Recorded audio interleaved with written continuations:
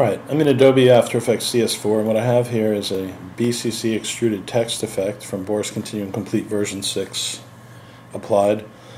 And BCC 6 version 603 update introduced some new um, animation parameters related to text and text on a path. And jitter and I'm just going to show some a couple text on a path effects here. Here I'll preview the effect you see I'm animating the text along the path and using its tracking and letter skew to kind of create the illusion like it's going up and down hills and being affected by gravity as it moves and we'll come back to that. But here, let me just show a little bit of how you put text on a path using Boris Continuum Complete Extruded Text filter. First, let's create a path. So I'm going to just got it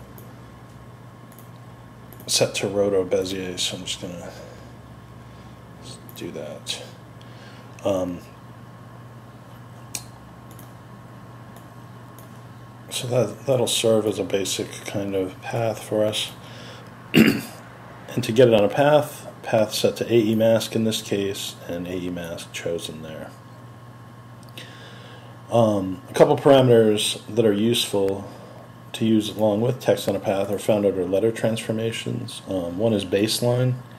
See, I can actually offset um, the text from its baseline, which in this case is the path, and of course, this on-path position parameter is the, the major one we're going to be animating there. And there's also tracking as well.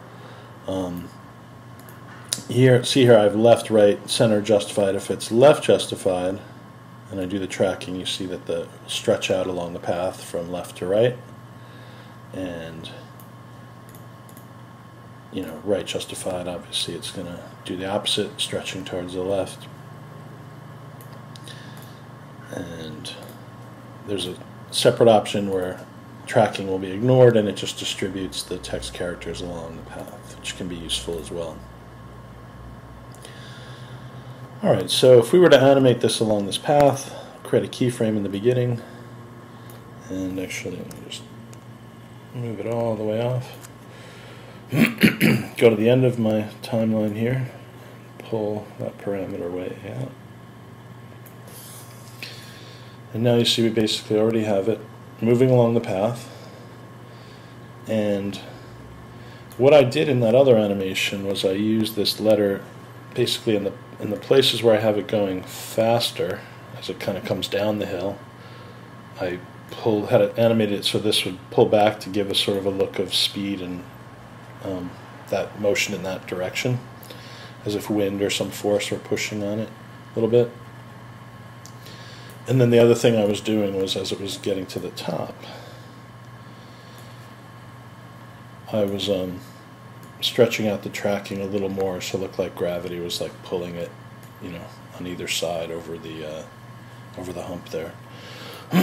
so the resulting animation once again, and actually these paths. Um,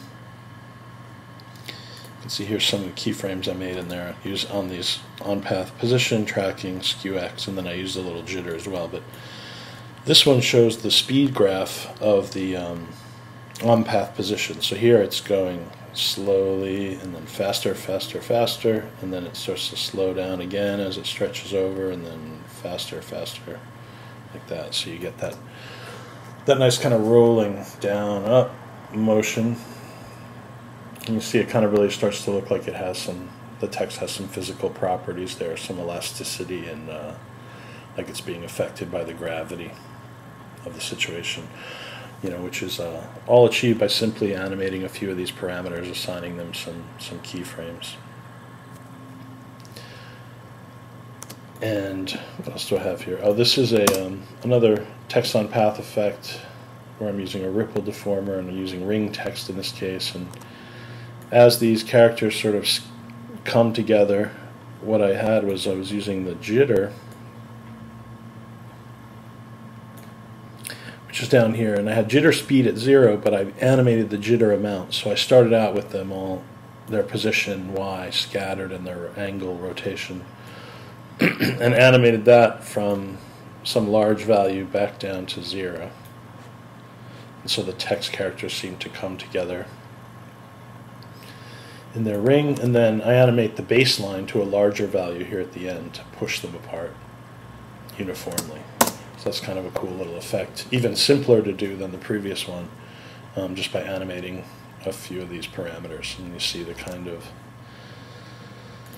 the kind of effects you can get with the kind of control that's offered for, from Boris Continuum Complete version 6 extruded text.